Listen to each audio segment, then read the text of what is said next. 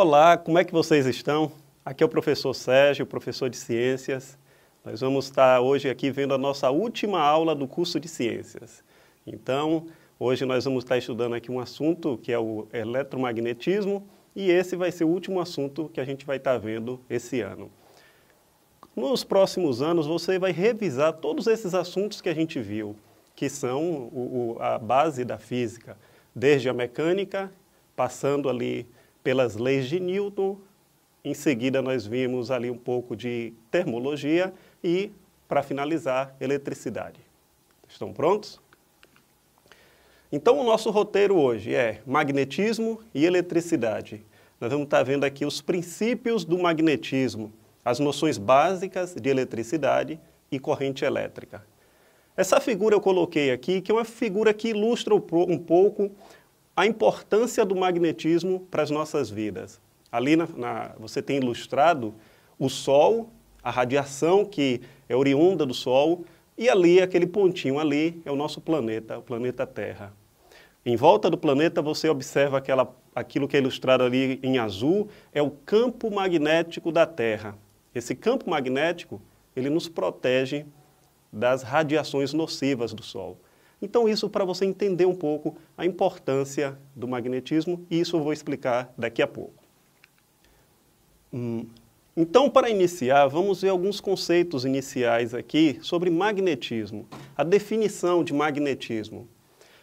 O estudo, o que é o magnetismo? O estudo das propriedades manifestadas pelo ímã. Você já teve oportunidade de pegar um ímã? Você deve ter observado que o ímã atrai alguns objetos, essa propriedade, objetos de ferro, essa propriedade que os ímãs possuem é objeto de estudo do magnetismo, é o efeito magnético do ímã. E o que são ímãs? A gente tem aqui a ilustração de um ímã aqui em forma de ferradura. Ali, um ímã em forma de barra.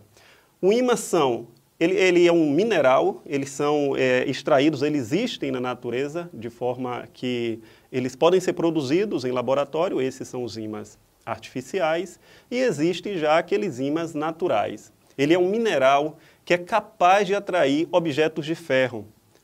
Objetos que contenham ferro são chamados objetos ferromagnéticos. Por exemplo, o metal do carro, que é feito de aço, que tem em sua, em sua composição o ferro.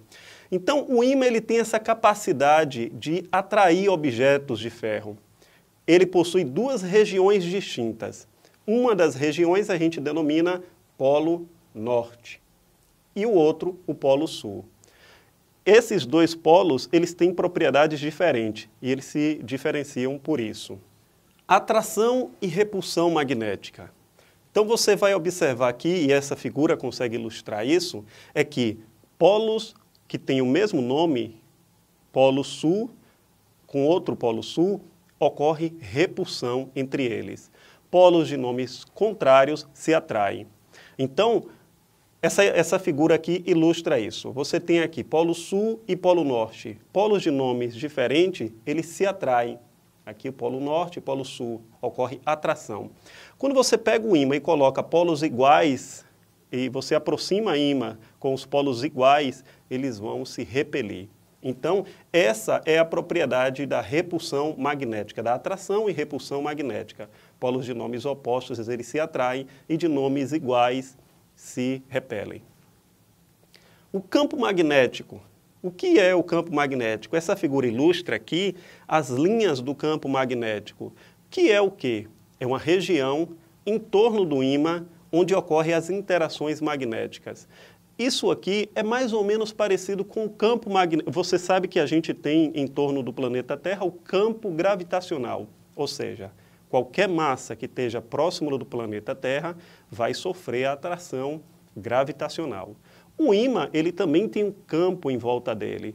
Esse campo é chamado de campo magnético. Se você coloca um outro ímã ali próximo desse, dessa área, desse campo de atuação, ele vai ser atraído, repelido. Se você coloca um pedaço de ferro, ele também vai sofrer atração. Então você tem uma região em torno do ímã onde ocorrem as interações magnéticas. Essa região é chamada de campo magnético.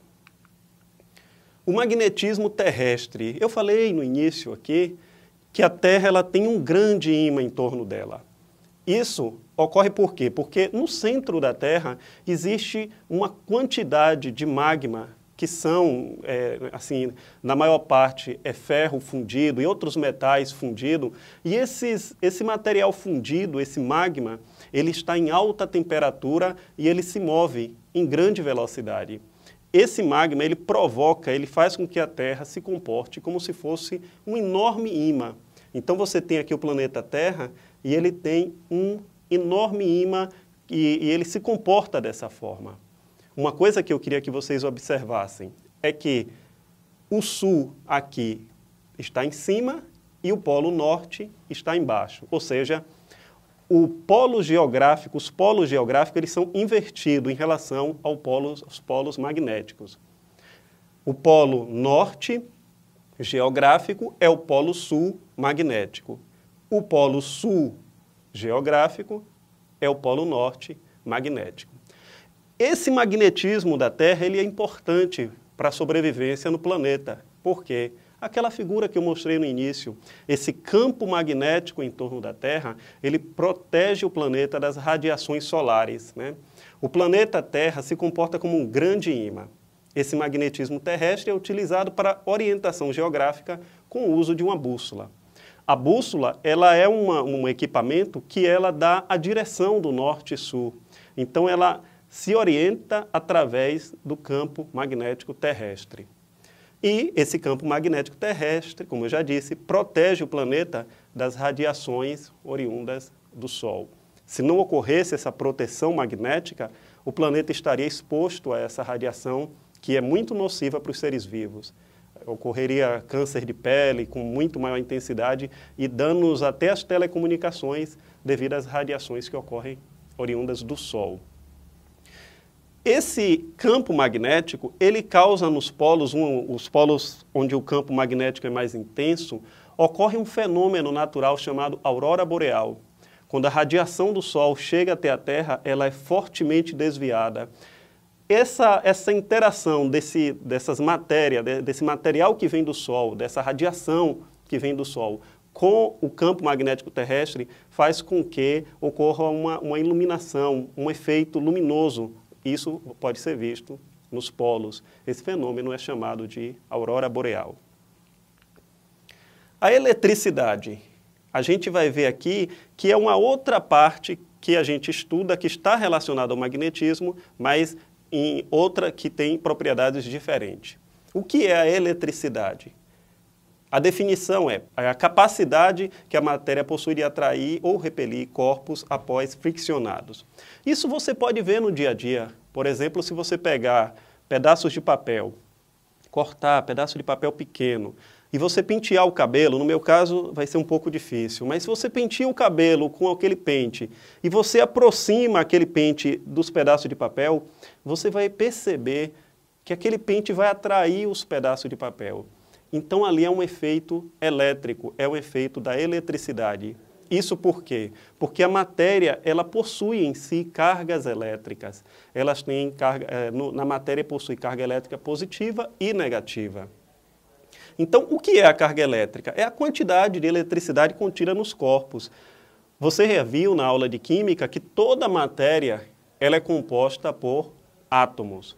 E esses átomos são compostos de elétrons, prótons e nêutrons. Os elétrons, eles têm carga negativa. Os prótons têm carga positiva. E os nêutrons não têm carga. Isso faz com que essa carga positiva dos prótons e a carga negativa do elétron faz com que a matéria em si seja neutra. Mas quando você faz uma fricção, quando você passa o pente no cabelo, ocorre um deslocamento de elétrons. Então você vai ter aquele pente, por exemplo, ele vai ter um excesso de elétrons, então ele vai ficar negativo, ele vai ficar eletrizado negativamente. Quando você aproxima do papel, ocorre essa interação, que é uma interação elétrica. Carga elétrica elementar. Essa carga elétrica elementar é a menor carga elétrica que existe na matéria. É a carga de um elétron ou de um próton. A carga de um próton e a carga de um elétron são iguais. iguais em sua quantidade, mas elas são opostas em seus efeitos. A carga do elétron é negativa e a carga do próton é positiva. E os nêutrons, como eu já disse, não têm carga. Vamos falar aqui sobre os materiais que existem na natureza. Existem materiais bons condutores e existem materiais mal condutores de eletricidade. Quais são os materiais condutores? São aqueles que permitem que o, elétrico, o elétron possa fluir na sua estrutura. Por exemplo, se você pega um pedaço de ferro, os elétrons no material de ferro, nos, nos, metais de um modo geral, eles têm essa capacidade de poder fluir. Então, se eu tenho um pedaço de metal, os elétrons têm liberdade de fluir, de se movimentarem nessa estrutura de ferro, nesse metal. E o que são maus condutores? É o efeito oposto. É aquele material, são materiais que não permitem o movimento das cargas elétricas em sua estrutura, como a borracha, por exemplo. Por isso, que quando o eletricista ele vai trabalhar com fios de eletricidade, ele usa luvas de borracha, porque aquelas luvas vão proteger que ele é, vão protegê-lo de uma possível descarga elétrica em seu corpo. Então, os materiais que permitem que os elétrons se movam na sua estrutura são materiais condutores e aqueles que que não permitem esse movimento dos elétrons são materiais maus condutores ou isolantes, também pode ser chamado dessa forma. Vamos falar agora sobre um pouco sobre isso, a corrente elétrica. Quando a gente usa qualquer equipamento elétrico, eles funcionam através de corrente elétrica. E o que é e como se produz uma corrente elétrica? Definição: chama-se de corrente elétrica o movimento ordenado dos elétrons no corpo. Para que ocorra o fluxo de elétrons de um corpo para outro, é necessário que exista uma diferença de potencial. Então veja bem. Primeiro eu falei ali, movimento, o que é corrente elétrica? É o movimento ordenado de elétrons. Porque eu já falei que se você tem um pedaço de metal, os elétrons ali dentro dele, eles têm já a liberdade de se movimentarem. Mas esse movimento caótico que existe, um movimento ali caótico dentro do, do metal, isso não produz uma corrente elétrica. Para ocorrer uma corrente elétrica, é necessário que haja um fluxo ordenado de elétrons. Os elétrons se movam todos numa mesma direção. Como eu faço para os elétrons se moverem todos na mesma direção? Eu aplico nesses corpos uma diferença de potencial. Essa figura aqui ilustra isso. Você tem aqui um, um corpo que está com carga positiva. O que significa carga positiva? Significa que esse corpo foi retirado os elétrons dele. Ele ficou então com mais prótons do que elétrons, então ele é positivo. E aquele corpo de lá, por algum processo de fricção ou outro processo, foi colocado elétrons nele. Ele tem um excesso de elétrons. Então, entre eles há uma diferença de potencial, DDP. Se eu pego esses, esses, dois corpos que têm diferença de potencial e coloco um fio entre eles, um fio de um material condutor, por exemplo, um fio de cobre, um fio de alumínio, se eu coloco um metal ali, um fio de metal ligando esses dois, esses dois corpos, vai ocorrer um fluxo ordenado de elétrons, vai ocorrer uma corrente elétrica. Os elétrons vão sair de lá, de onde eles estão em excesso, e vão passar para o outro corpo, onde eles estão em falta. Esse é o conceito de corrente elétrica. Ela é medida, ela tem uma unidade de medida que mede a intensidade de corrente, se a corrente é alta, se a corrente é baixa. Essa unidade de medida é o ampere. Então você vai dizer que o corpo tem ali 5 amperes, 2 amperes, é a corrente elétrica que está passando por aquele condutor. E quais são, então, o que, é que a corrente elétrica provoca? Quais são os efeitos da corrente elétrica? Eu coloquei aqui os três principais efeitos que a corrente elétrica provoca ao passar por um corpo. O primeiro é o efeito Joule. Esse efeito é o aquecimento do, do condutor quando a corrente elétrica passa por ele. Então, é o aquecimento do condutor pela passagem da corrente elétrica. Se tiver uma corrente elétrica passando por um fio, esse fio vai esquentar.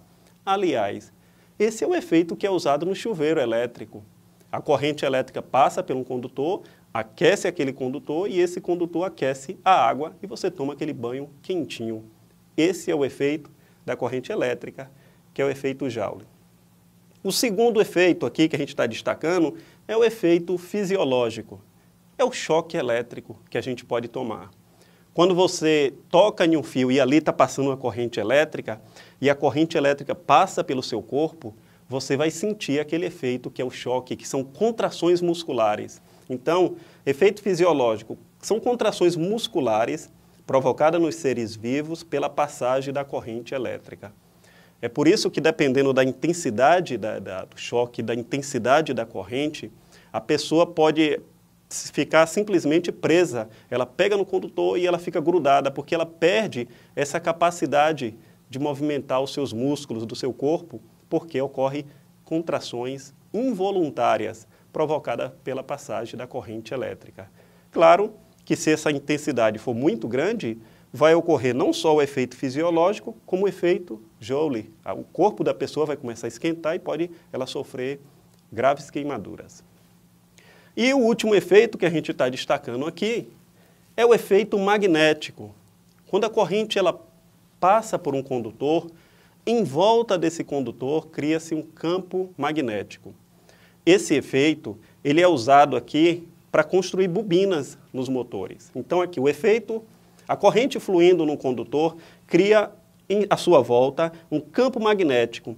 Esse efeito é usado para a construção de bobinas em motores elétricos. Então o motor elétrico ele é feito uma bobina e essa bobina, quando a corrente passa por ela, é criado no meio dessa bobina um campo magnético que vai fazer os motores elétricos funcionarem. Esse efeito também é, é visto naquele exemplo que a gente viu do planeta Terra, que o magma, quando ele está se movimentando, ele é uma carga elétrica em movimento, ele vai criar um campo magnético terrestre. Então você vê que é um assunto muito interessante, porque diz respeito a muitas coisas que a gente usa, os motores e equipamentos. A eletricidade ela está muito presente no nosso dia a dia. É, então a gente se vê nos próximos anos. Aqui tem a nossa referência para vocês estarem revisando, estarem estudando e a gente se vê. Até mais. Tchau, tchau.